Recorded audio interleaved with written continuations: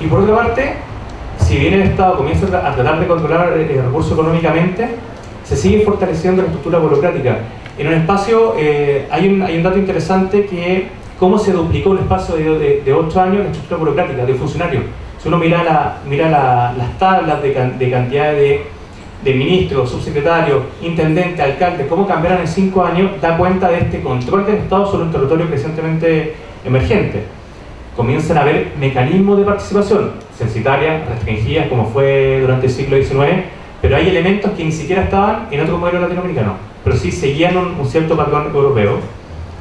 Y por otra parte, se va constituyendo una consolidación económica, anclada en procesos civiles dentro del Estado, pero sin absorberlos completamente, que va a ser uno de los grandes catigadores de, de la crisis del 91. Y la tercera fase de esta investigación, que es una investigación bastante ardua, que después incluso se la puedo compartir, son casi 180 páginas, es la, la, fase de la conciliación territorial. Llegar a este cenit del Estado, un Estado que se comienza a desacoplar de Latinoamérica y donde enfrenta dos grandes conflictos internacionales que llaman la atención lo que provocaron. Por un lado, se supera la guerra, la guerra limitada. Chile, al entrar, esto es una de las grandes discusiones de, la sociología de la guerra y los procesos históricos. Los sociólogos no pescan la guerra por España. Yo no sé también, yo creo que los historiadores sí le dan un valor, pero los sociólogos no lo pescan. Consideran que es una guerra de pacotilla. Desde mi tesis sociológica yo me fui muy en la línea contraria porque significó enfrentarse a una potencia.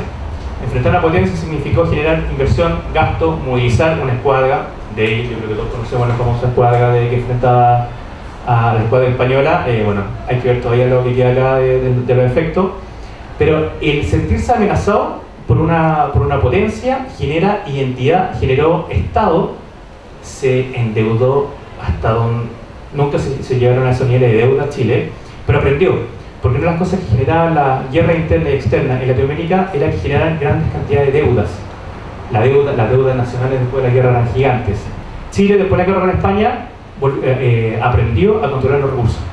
De hecho, un, ejemplo, a pesos desde la época, en un periodo de un año y medio, eh, Chile gastó con España 150 millones de pesos.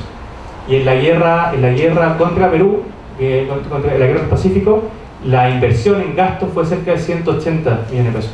150, 180. O sea, se considera el movilizar 26.000 hombres en la guerra del Pacífico 180 y solamente administrar una escuadra, pagarle a buques mercantes armados 150 millones. Ahí, ahí vemos que, pero ese problema de deuda, de controlar esa deuda, generó que Chile dijo, tenemos que aprender de esto para una, futura guerra.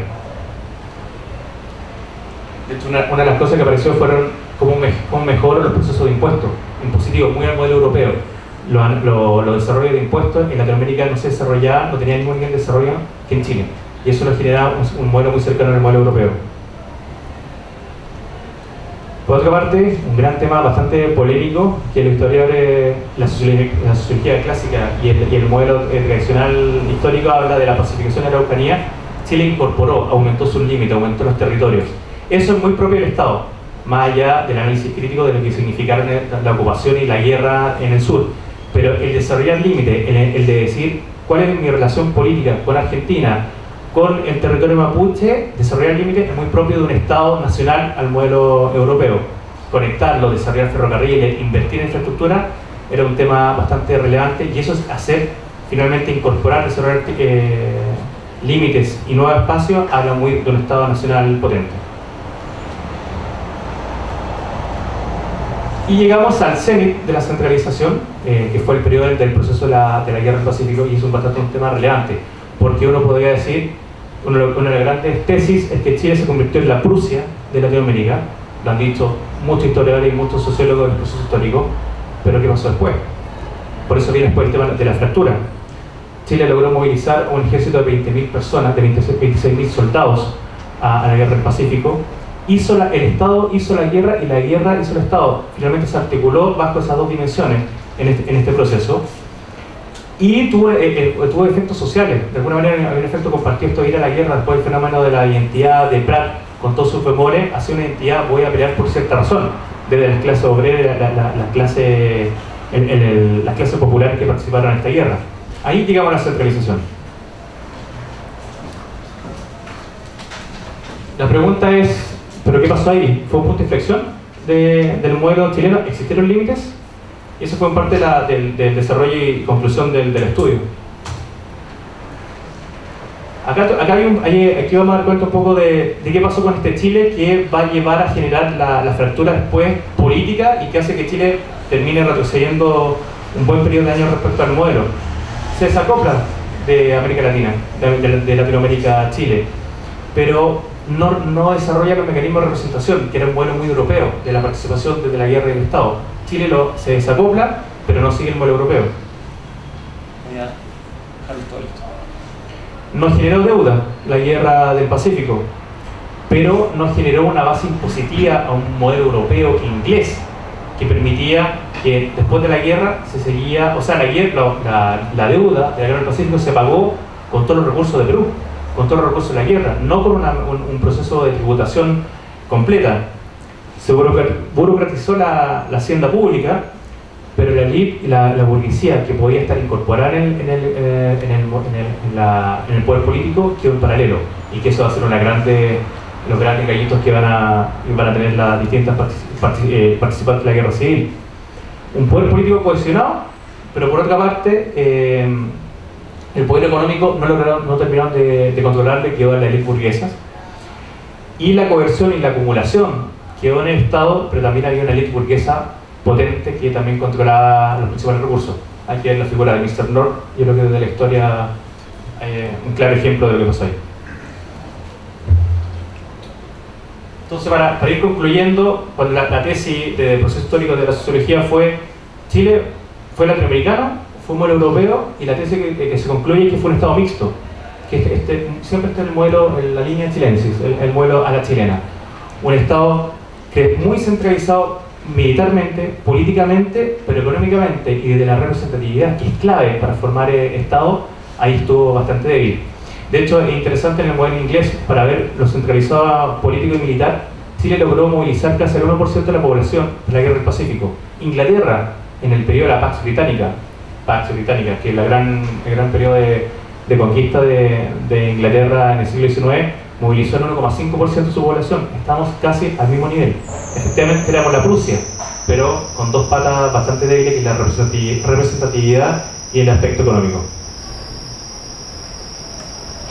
Y para concluir, esto, este Estado altamente centralizado previo a la, a la guerra civil generó espacios grises, que fueron los que también muchos de los elementos que terminaron eh, desarrollándose y visualizándose como distintos elementos para la fractura de 1891. Por un lado, el Estado se fue a través de la guerra fortaleciendo políticamente distintos aspectos, el, el, cuadro lo resume, desde la monopolización en 1830 hasta la coerción y la incorporación del territorio a, a fines del siglo XIX, pero nunca se logró resolver las frondas, las clases burguesas, dónde estaba el poder económico y, no se resolvía la representatividad, que es un tema clave para que en el fondo también haya una, base mucho más cohesionada con respecto al Estado.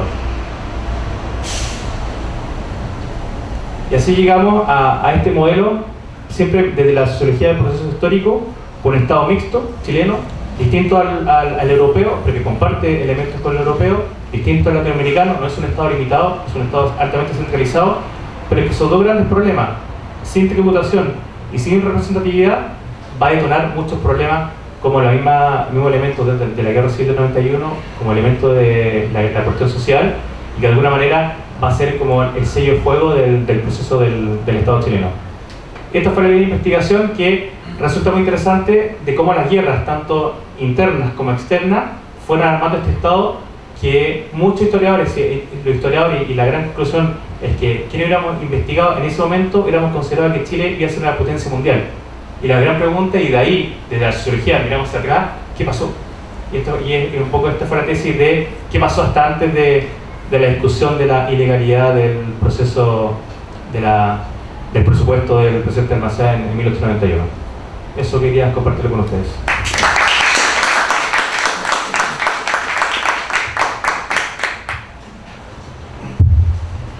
Para finalizar la mesa eh, de este primer día del coloquio, vamos a dar paso a la ponencia de Alberto Donoso y Marco Moncada, titulada Construcción de memoria histórica en torno a un sitio patrimonial de la Guerra Civil de 1891. Muchas gracias. Bueno, eh, primero que se escucha bien o no, sí, sí. ¿se escucha bien? Ya. Bueno, eh, primero que todo agradecer la invitación que, y, esta reflexión importante que se puede hacer en estos espacios que genera eh, los estudiantes de Historia de la Universidad de Valparaíso. Y bueno, nosotros dos con, con Marco, Marco Moscada, yo soy Alberto Donoso, somos estudiantes de Magíster de la Universidad Católica de Valparaíso. Y venimos acá, el, el, papel, la camiseta que nos vamos a poner hoy día nosotros acá en este conversatorio, va a ser aterrizar este tema eh, de, la guerra, de la guerra de 1991 y aterrizarlo desde los libros, pasar de la teoría pura, de, la historia pura, hacia el tema patrimonial, hacia cómo estos temas se pueden transmitir hacia la gente y esa transmisión puede generar un cambio también en la percepción que la gente tiene de la historia, ¿cierto?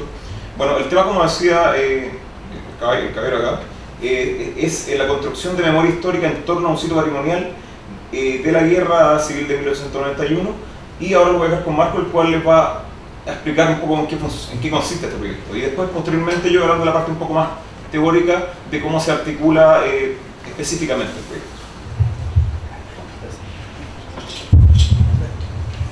Reitero los agradecimientos de mi compañero de exposición. Eh, es necesario estas instancias que van más allá de lo totalmente académico, porque queremos hacer ver que nuestra investigación tiene un carácter interdisciplinario nosotros como historiadores nos sumamos un esfuerzo previo y tiene que ver con acreditar que efectivamente de lo que vamos a hablar es un sitio patrimonial de la Guerra Civil de 1891. ¿Por qué? Y sobre ese piso viene la investigación histórica. Tenemos dos grandes referentes, dos grandes eh, elementos geográficos, históricos que contextualizan nuestra investigación. Uno, la batalla de, por un lado, la batalla de Concón y la de Brasilia, nuestro sitio está entre ambas. Y lo otro son dos riesgos que nos encontramos.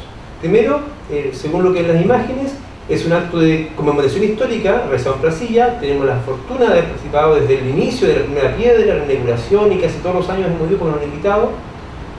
Hay un ejercicio, una gestión distinta a la Concón, que también tiene su mérito, digamos, y que tiene que ver con la conmemoración histórica. Pero ahí hay una línea nebulosa, un paso próximo de la exaltación de la violencia, la justificación, la, la guerra como modelo para resolución de conflictos, que fue lo que pasó en 1891 y queremos dejar sentado que nuestra ponencia, nuestra investigación, tiene que ver con la reflexión en torno a eso, para evitar